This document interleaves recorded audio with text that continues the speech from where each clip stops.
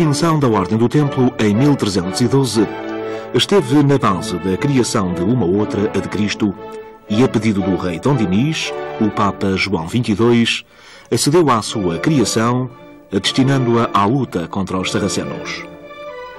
Não admira por essa razão que a primeira sede da Ordem se localizasse em Castro Marim, que foi a primeira praça de guerra do Algarve durante séculos, situada perto dos infiéis que habitavam o sul de Espanha e no norte de África. Ao antigo castelo morisco foram acrescidas durante o reinado de Dom Afonso III nova cerca de muralhas e torres, adaptando às novas funções de sede da Ordem. No seu interior subsistem vestígios dos passos dos alcaides e moradias, para além das ruínas das igrejas de Santa Maria, Santiago e da Misericórdia, cujo pórtico da Renascença está bem conservado.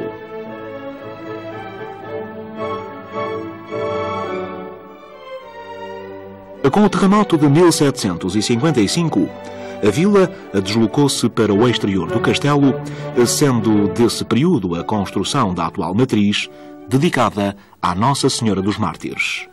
A nova milícia, que adotou a regra de Calatrava, ficando dependentes do abade de Alcobaça no que respeitava a visitações, reformas da ordem e eleições dos futuros mestres, mudou então a sua sede para Tomar, na segunda metade do século XIV, que havia sido conquistada por Dom Afonso Henriques em 1147 e por este doada aos Templários em 1159.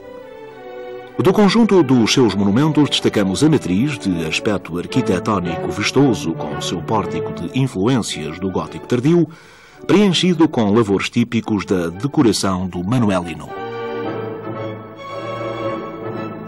Gualdim Pais, mestre templário, deu-lhe foral em 1162 e com ele se iniciaram as obras do que viria a ser a futura sede da Ordem do Templo e posteriormente de Cristo. O recinto conventual é um dos monumentos mais importantes da arquitetura portuguesa.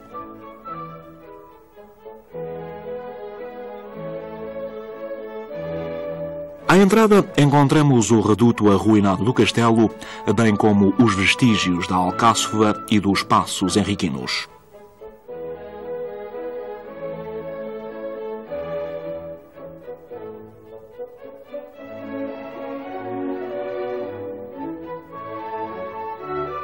Frente à entrada principal do convento, as ruínas da antiga casa do capítulo.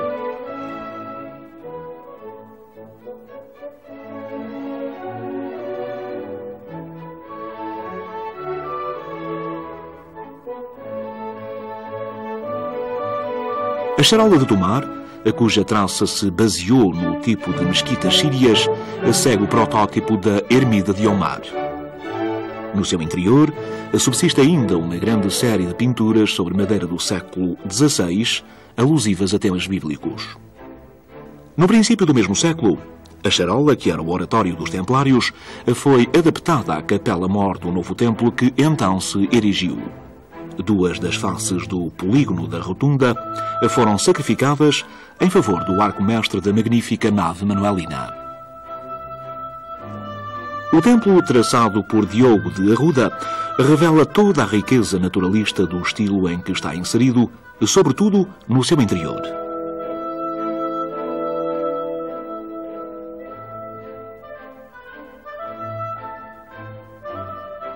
O teto, em abóbada artesoada com o emblema da Ordem de Cristo nos florões, arranca de mísulas exuberantemente lavradas que ostentam os habituais emblemas.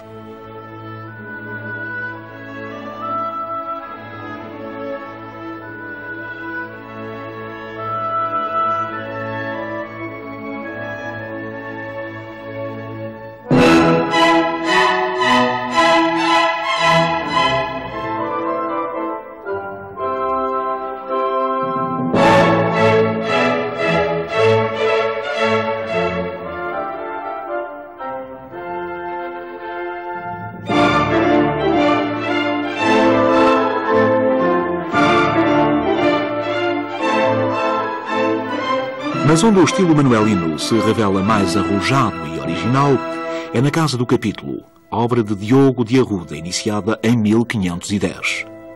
Esta dependência não começou por ser a casa capitular, mas sim a sacristia da igreja. A decoração interior do grande janelão poente demonstra o orientalismo do arquiteto no minucioso preenchimento da verga e das ombreiras, com troncos de disposição inconstante, motivos geométricos rendados e outros num bordado de pedraria de belo efeito. O exterior deste janelão é um conjunto artístico de grande representatividade, onde o gênio do mestre Diogo de Arruda está patente na espetacular volumetria do Manuelino. O conjunto escultórico desta janela consegue harmonizar num único quadro a lição extraída do contacto ultramarino, as sugestões vegetalistas, marítimas e realistas, a um evidente sentido épico.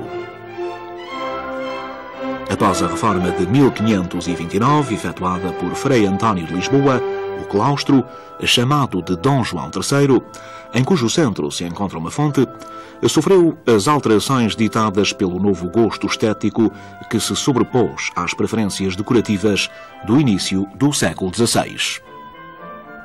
É ainda de realçar a janela interior que liga este claustro à sala do capítulo, fornecendo-lhe simultaneamente alguma luz.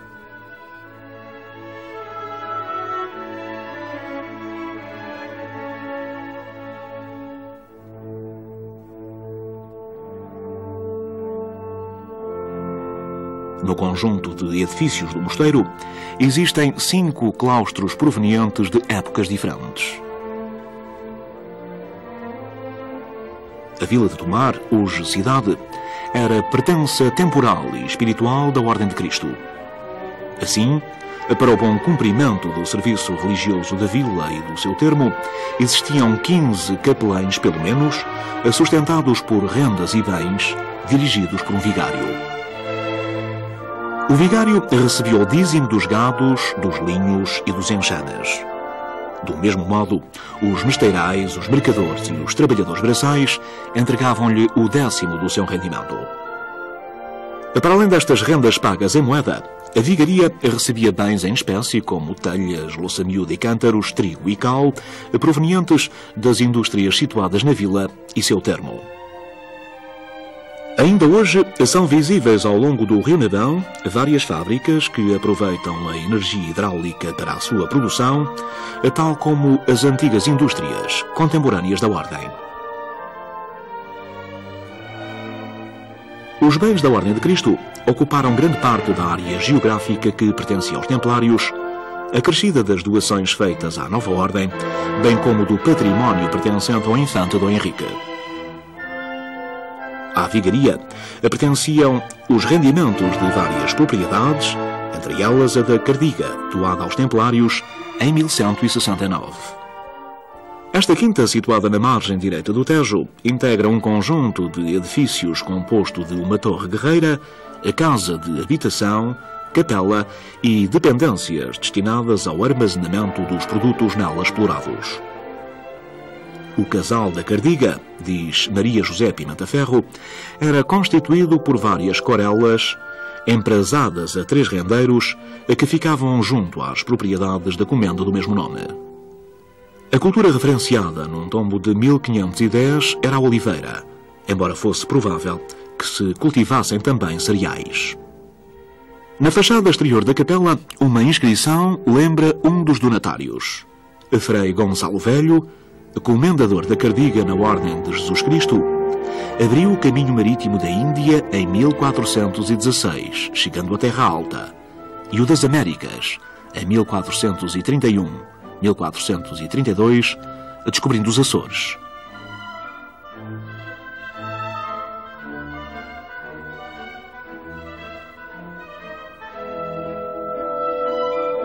A capela possui um pórtico manuelino.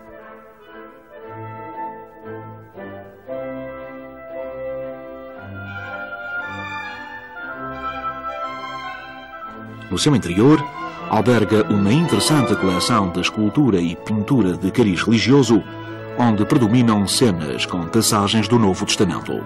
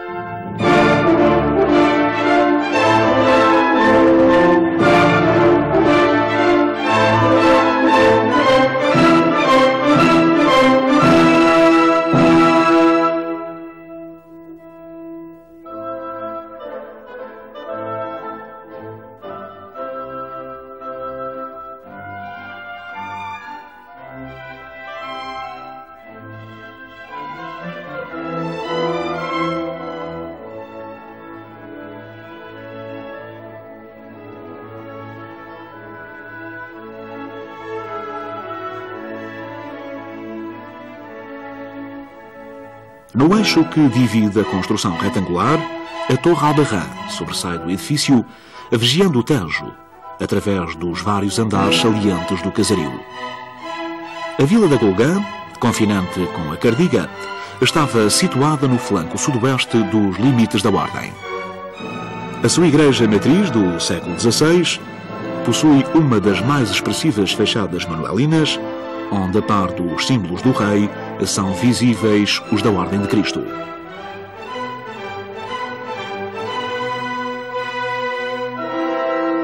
O rio Tejo era a defesa natural do flanco sul da Ordem.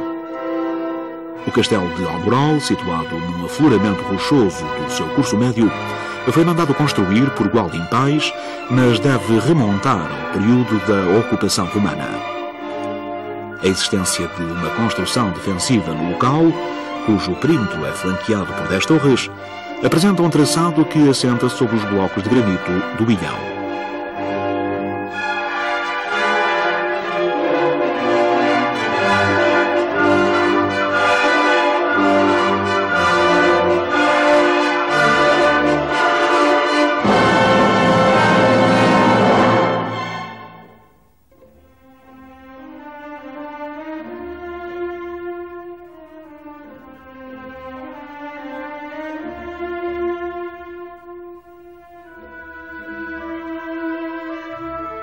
Idanha Nova foi outra das povoações que pertenceu à Ordem dos Templários. Fundada em 1187 por Gualdim Pais, nela foi edificado um castelo, do qual hoje já nada resta.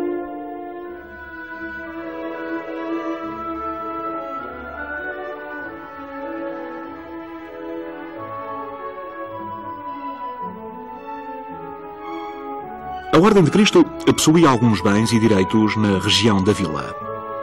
A Igreja Matriz, de três naves e torre cineira separada, de fundação medieval, foi reconstruída no século XVI e dela destacamos o sóbrio portal Renascença.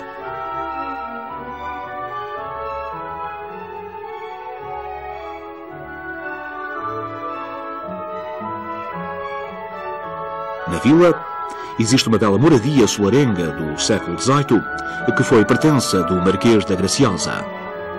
É constituída por três corpos, sendo o central mais elevado, semelhante a uma torre de características medievais e coroado por merlões. Neste corpo destaca-se um balcão apoiado em colunas toscanas e uma janela mainelada.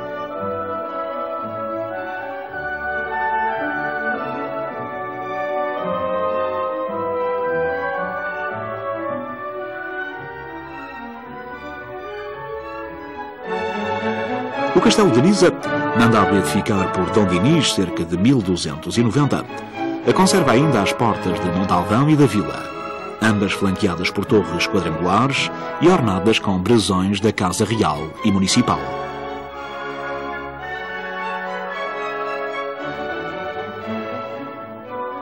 A vila data dos primeiros tempos da nacionalidade, existindo já como conselho em 1232.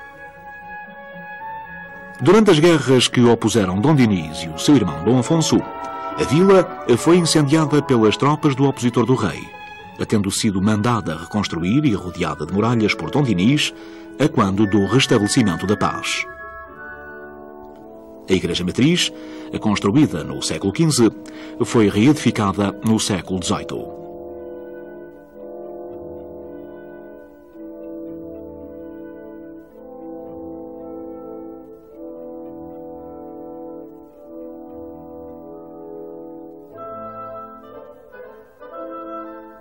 A vila de Altalhão, cuja matriz apresenta a particularidade de a torre cineira se situar na fachada, mas centrada sobre o pórtico de entrada, foi também pertença da Ordem de Cristo, não restando dela, no entanto, vestígios visíveis.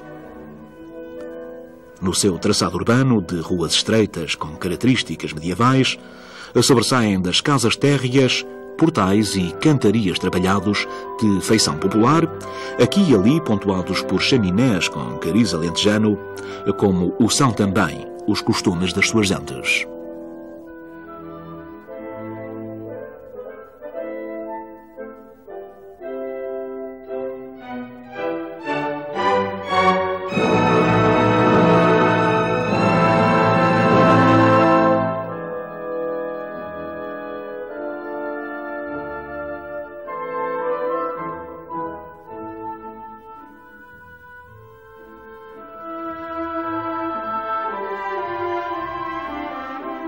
Foi mestre da Ordem Dom Sebastião, que morreu em Alcácer Quivir em agosto de 1578. Pouco dado aos negócios do Estado, entregou a presidência da Mesa da Consciência e Ordem, bem como outros cargos, a Martim Gonçalves da Câmara, irmão do seu antigo confessor e mestre.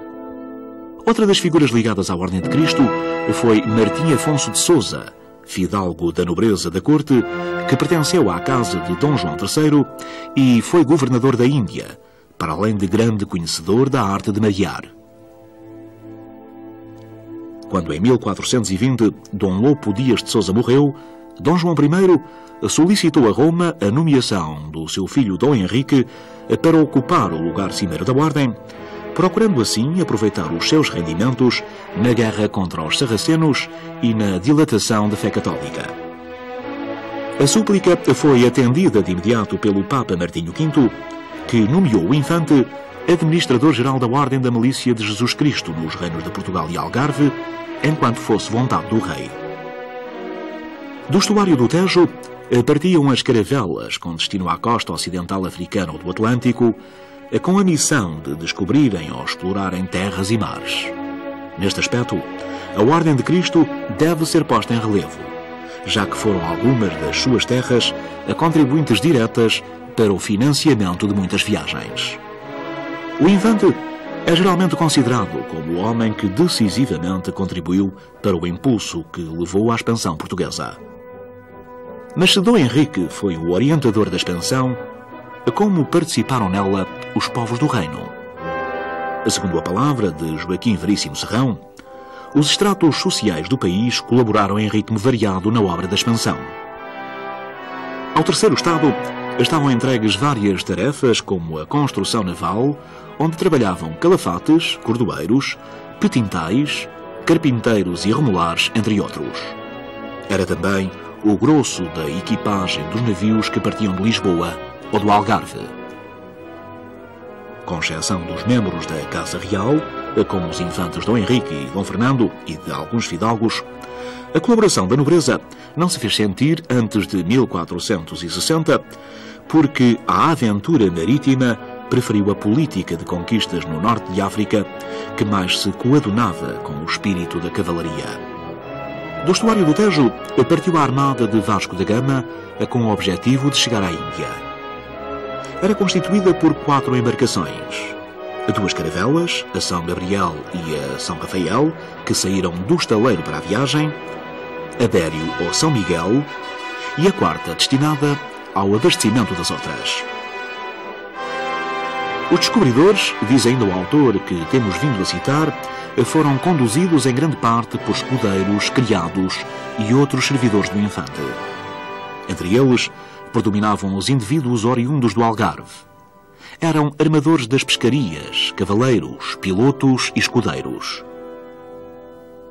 O clero fê-lo por intermédio de padres e missionários, sobretudo monges franciscanos, que embarcaram com os nautas e colonos a quem prestavam assistência religiosa. Era hábito colocar um padrão que assinalava a posse da terra para a coroa portuguesa nos locais que iam sendo descobertos.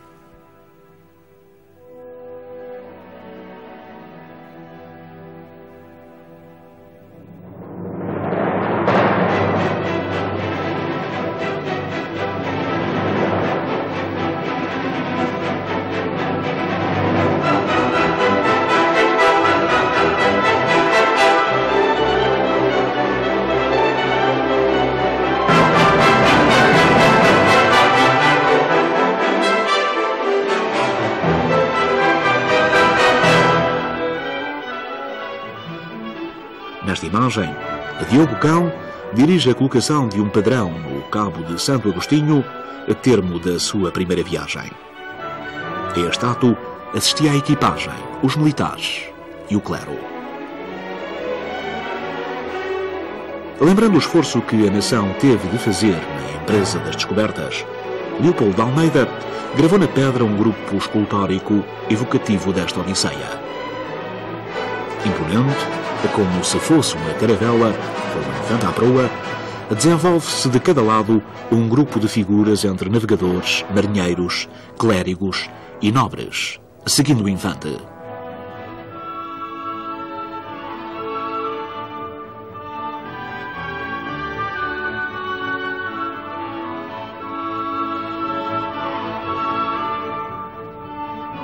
Entre frades e monges representantes das ordens militares, o povo anónimo que, através do esforço braçal, levou na maioria das vezes a bom porto barcas, caravelas e naus, cavaleiros e escudeiros, marinheiros e pilotos que, capitaneando, equipando ou dirigindo os navios, andaram pela costa de África, pelo Extremo Oriente, pelo Atlântico e pela costa do Brasil. A expansão portuguesa, diz José Hermano Saraiva, não é um fenómeno isolado, mas um aspecto peculiar da reconstrução económica da Europa nos finais da Idade Média. A Europa procurava novos horizontes geográficos para a sua economia. E não era apenas em Portugal que se fazia sentir o déficit cerealífero. A necessidade de ouro, finalmente a avidez de novas riquezas. As razões que levaram o infante a prestar grande atenção às viagens marítimas e a promover expedições de exploração científica foram provavelmente as que Zurara nos aponta. Uma grande curiosidade de saber que terras ficavam para além do Cabo Bojador, limite da terra conhecida e sobre as quais não havia senão versões lendárias, o desejo de conhecer que riquezas existiriam nessas terras para estabelecer o respectivo comércio para permuta com riquezas existentes em Portugal, informar-se sobre o verdadeiro poder dos mouros que habitariam nessas partes e eram potenciais inimigos da nossa presença no norte de África, ter notícias de algum príncipe cristão que habitasse nesses confins do mundo e, enfim, o desejo de salvar almas, ensinando aos povos a doutrina cristã.